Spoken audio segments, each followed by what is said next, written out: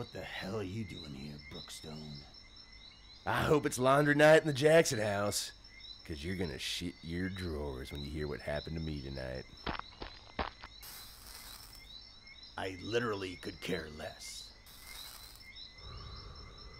So you're telling me you care a little. I appreciate that. Is there any way you're leaving without telling me this story? Probably, possibly not. Let's get this over with. I don't got all night. I won't take up too much of your time, Jackson. I know your daughter up there isn't gonna molest herself. Seriously. I fucking hate you. I was outside the auto shop looking to huff some gas when out of nowhere a gang of McCullough's thugs show up. Their dancing shoes were laced and I could feel the tango coming. The first three wanted to foxtrot, but Papa don't swing that way. Unfortunately, the others did a Russian waltz on my face. I swear one guy even put his finger in my most intimate of areas. My anus, if you're uneducated in such things. When I came to, I was led into a barn in the middle of nowhere. Mm, Kick your butt. Oh. I'm gonna kick your face. E- Loogie time. Ugh, gross. Ah, Buckstone, how long has it been? Glad to see you're doing well. I see you've met Bill, and you'll be glad to learn he has just been housebroken. Motherfuckers make a big pee in the potty. Sir, we looked everywhere. We searched his apartment. We searched his car. Hell, Bill even searched his rectum. He was gentle, yet passionate.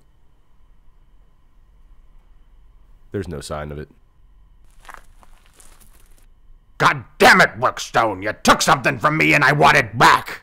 Your virginity was gone a long time before I got there, you rotten rapscallion. Don't change the subject on me, Brookstone. I brought you here to ask you one question. Where's my banky? I don't know anything about a banky. You are, however, free to check my asshole again.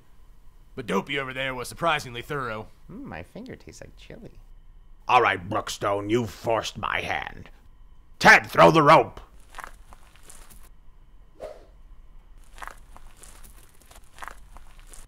Stop your squirt. Let's go a little easier on the ball sack, huh, Flat Top? Give him a taste of what he's in for if he won't cooperate.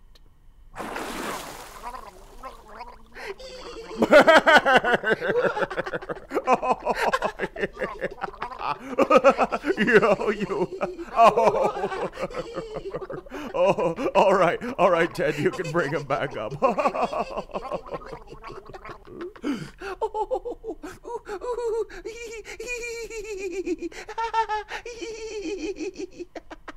Oh, Jesus, Bill, what's your deal anyway?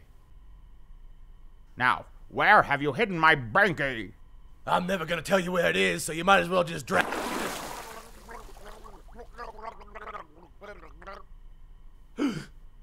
We've got all night, although I can't assure you my patience will hold out. So start talking before we see just how long you can hold your breath. All right, McCullough, you win. Untie me and I'll take you. No, no, no, Brookstone. Use your words. Make me believe it.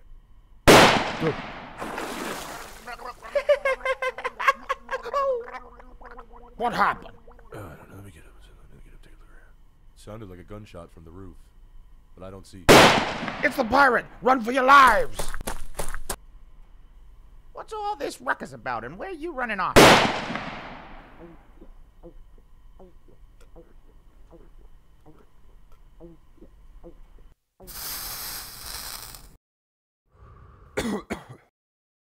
Drank the whole damn thing.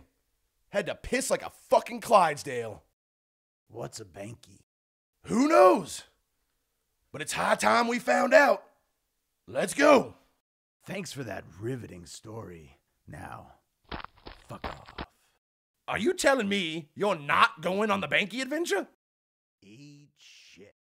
I didn't want to have to pull out the big guns, Jackson, but you owe me. Don't even say it. I'm not saying anything. Just like I didn't say anything when you had relations with Mrs. Snow's toy poodle. You told me it was a stuffed animal, and you fucked it first. All right, I'm in. But this is the last time we ain't kids anymore.